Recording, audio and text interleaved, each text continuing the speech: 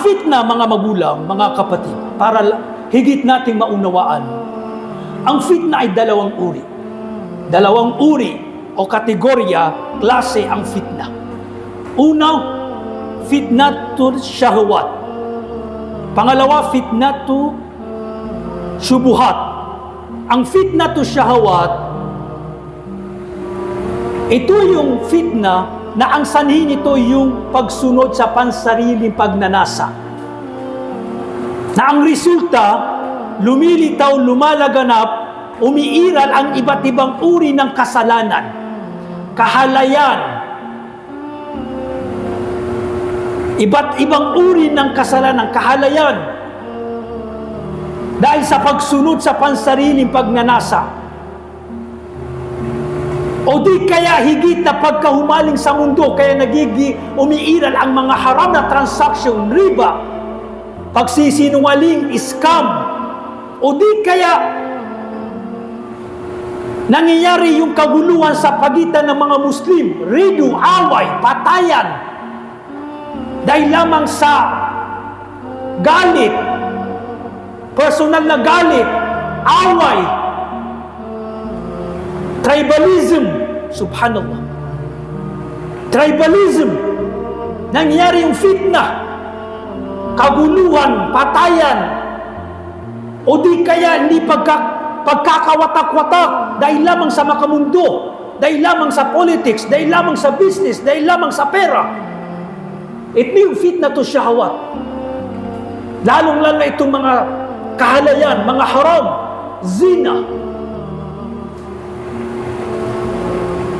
Subhanallah. Ngayon, zina. Talamak. Iyadang billah. Lalo lang yung social media, mga kabataan na fitna. Pumapasok sa haram relationship, nangyayari yung hindi, yung da, hindi dapat mangyayari. Nangyayari. At alam na natin, yung dulot ng haram relationship, nangyayari yung zina. Subhanallah. Yung pag-inom ng alak, yung pagsisinungaling, yung pandaraya, pagkuha sa ari-arian ng hindi makataruan, ito yung fitna to syahwat. Fitna sa mundo. Paglitaw ng iba't ibang uri ng haram at iba pa dahil sa pagsunod sa syahwa, pagnanasa, higit na pagkaumaling sa mundo, sariling pansariling kagustuhan kaya nangyari yung fitna to syahwat. Pangalawang fitna, at dito tayo, itong bibigyan diin natin, fufukusan natin.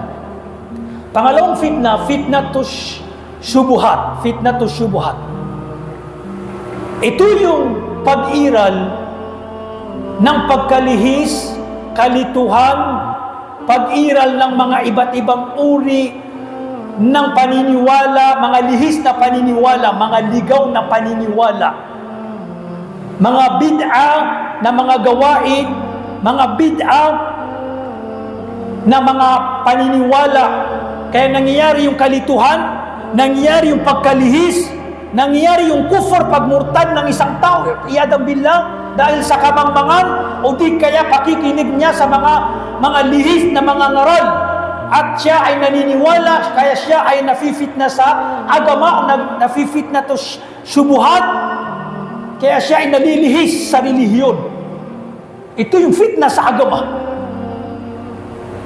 at ngayon subhanallah talamak ngayon. Lalo-lalo na sa social media.